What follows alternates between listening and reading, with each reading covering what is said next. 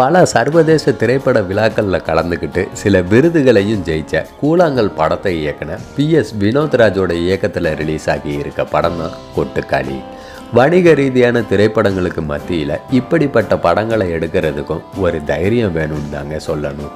இந்த மாதிரியான படைப்புகளை ஆர்ட் ஃபிலிம்னே பார்த்து பழக்கப்பட்டுட்டோம்.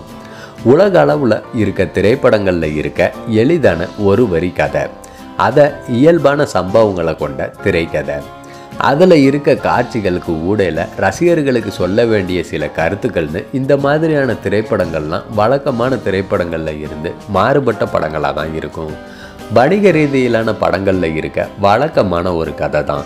ஆனால் அதை இயக்குனர் வினோத் ராஜ் அணுகி இருக்க விதம் தான் மாறுபட்டது. மதுரை பக்கத்தில் இருக்க ஒரு கிராமத்தில் நடக்கிற கதை. இளம்பெண் அண்ணா பெண்ணுக்கு பேய் பிடிச்சிருப்பதா நினச்சி அவங்கள இன்னொரு கிராமத்தில் இருக்க பேய் ஓட்டுற ஒருத்தர்கிட்ட கூட்டிகிட்டு போகிறாங்க அண்ணா பெண்ணுடைய முறை மாமன் தான் சூரி. இவங்க ரெண்டு பேர் குடும்பத்தினர் சில உறவினர்கள்னு ஒரு ஆட்டோ மற்றும் பைக்கில் பயணம் பண்ணுறாங்க அந்த பயணத்தில் நடக்கிற சில சம்பவங்கள் பேய் ஓட்டுற இடத்துக்கு போனதுக்கு அப்புறம் அண்ணா பெண்ணுக்கு பேய் ஓட்டுனாங்களா இல்லையான்றது தாங்க இந்த படத்துடைய கதை. தனக்கு பிடிச்ச மாதிரி சுதந்திரமாக வாழணும்னு நினைக்கிறவங்க தான் அண்ணா பெண். படத்தோட ஆரம்பத்தில் இருந்து கடைசி வரைக்கும் எங்கேயோ வெறிச்சு பார்த்துட்ருக்கிறவங்களா இந்த படத்தில் நடிச்சிருக்காங்க. இடையில ஒன்று ரெண்டு இடங்கள்ல லேசாக சிரிக்கிறாங்க கோவப்படுறாங்க.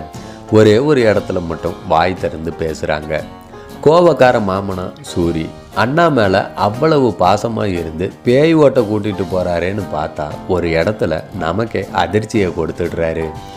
எங்கேயோ ஒழிச்ச சினிமா பாடல் ஒன்று அண்ணா முணுமுணுக்க ஆரம்பித்ததும் கோபப்பட்டு அண்ணாவையும் அவங்களுடைய அம்மா உள்ளிட்ட ஆட்டோவில் இருந்த எல்லாத்தையுமே கடுமையாக தாக்குறாரு சூரி.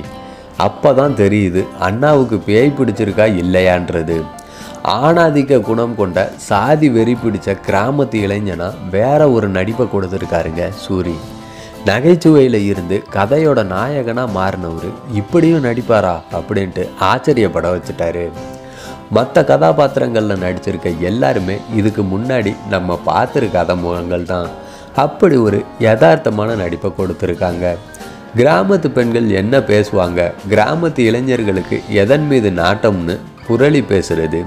குடிப்பதுன்னு தற்காலிக சமூக நிலை சிலதையும் குறியீடுகளாகவும் காட்டியிருக்கு இந்த படம்.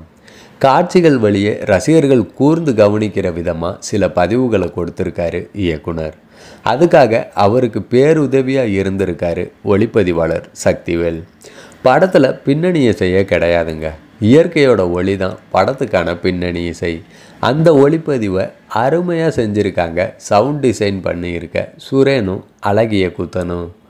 கிராமங்கள் கிராமத்து மனுஷங்க இப்போவும் எப்படி இருக்காங்க? அவங்களோட எண்ணங்கள் தற்காலத்துக்கு ஏற்ற மாதிரி மாறி இருக்கா இல்லையான்றத கொட்டுற விதத்தில் சொல்லியிருக்காரு கொட்டுக்காளியா.